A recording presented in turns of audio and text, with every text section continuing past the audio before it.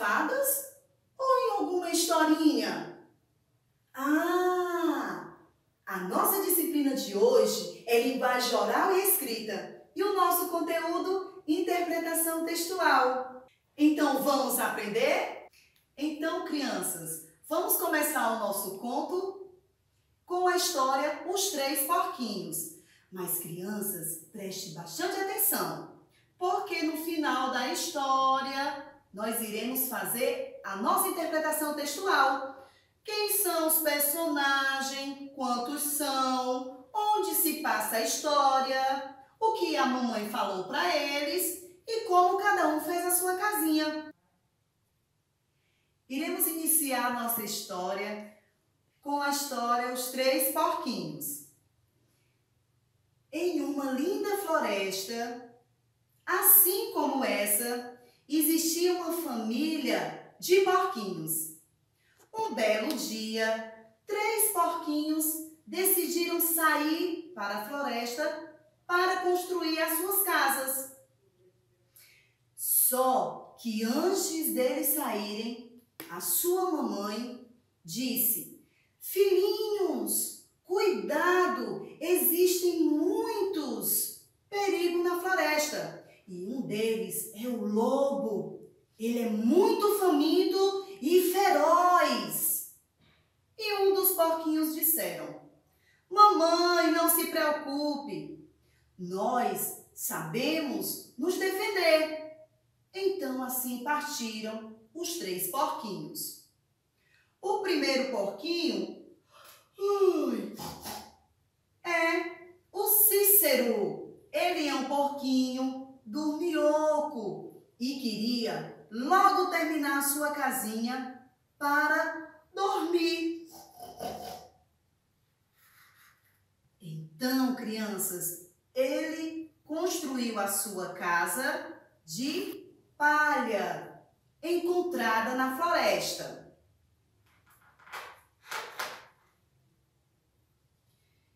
E o segundo porquinho é o Heitor. Ele é um porquinho que ama música. Ele é tocador e gosta de tocar as suas belas músicas na floresta.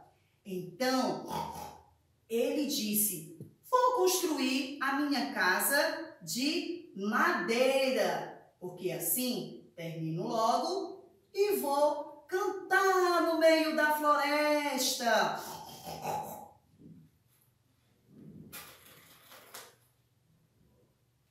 O terceiro porquinho é o prático e muito inteligente. Ele construiu a sua casinha de tijolos e cimento para ficar forte contra o lobo, porque ele lembrou o que a sua mamãe tinha dito, que tinha que se proteger do lobo, porque ele era feroz e podia comê-los. E um belo dia, eles ouviram um zum, zum, zum na floresta que um lobo ia atacar o lugar onde eles estavam. Nossa, o que vai acontecer com os porquinhos? Então, aí vem o terrível lobo. Ele foi sentir um cheirinho. Hum, por aqui existem alguns porquinhos. E foi para a primeira casinha, que é a casinha de palha. Ele bateu na porta. E ninguém apareceu. Ele bateu novamente. E ninguém apareceu. Então ele falou: Abram a porta, senão vou assoprar e a casinha derrubar. Assim ele fez. Encheu seu pulmão de ar e. E fez de novo. E a casinha de palha veio ao chão e o porquinho saiu correndo para a casa do seu irmão.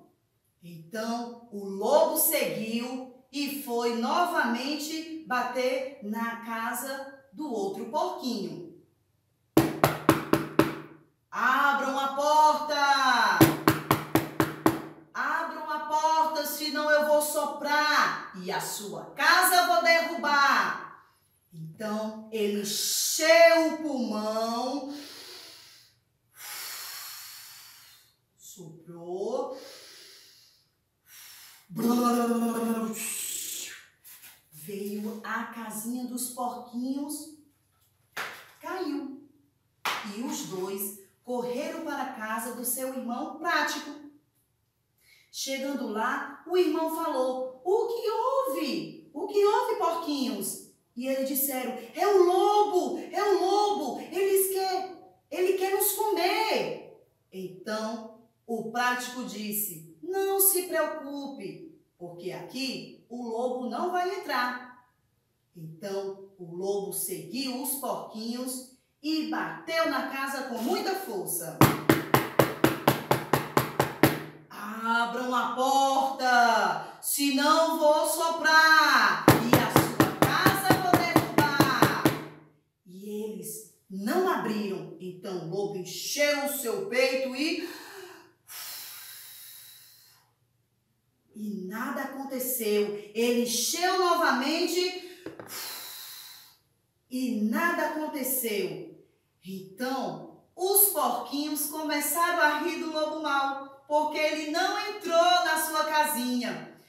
Mas o lobo não desistiu. Ele subiu na chaminé da casa do porquinho e entrou. Só que os porquinhos crianças observaram para onde o lobo tinha ido e encheram um caldeirão bem grande com água quente e quando o lobo entrou, ai, ai, ai, ai, ai, ai, ai, ai, ai, ai, queimou o lobo todo.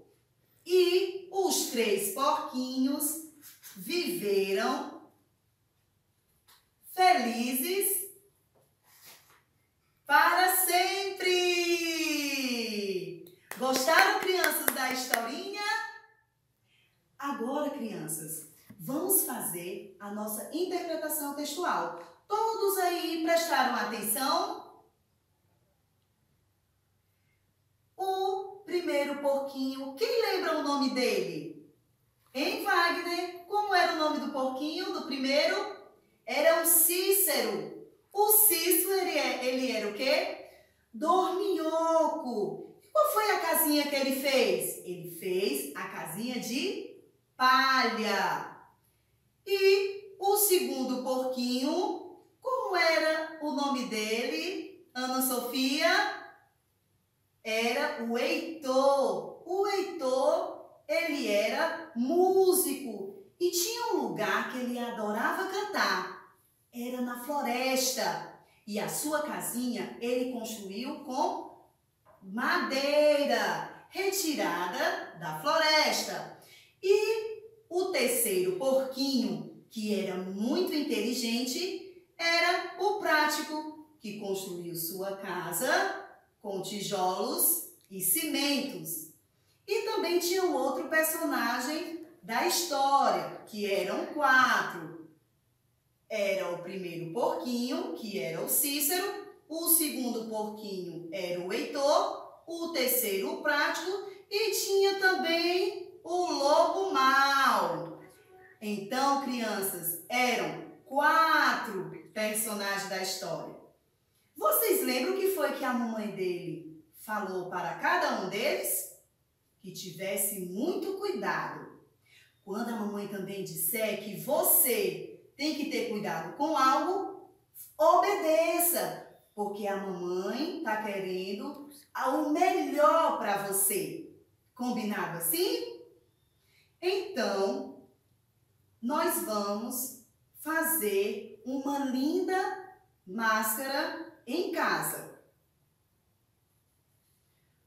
Junto com o papai ou a mamãe, você vai fazer essas duas lindas máscaras.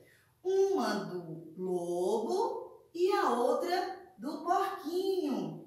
E você, junto com a sua família, vai recontar a história que a tia Sandra contou.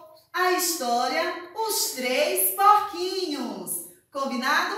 Agora, crianças, para a nossa história ficar alegre, vamos cantar uma linda música da história dos Três Porquinhos.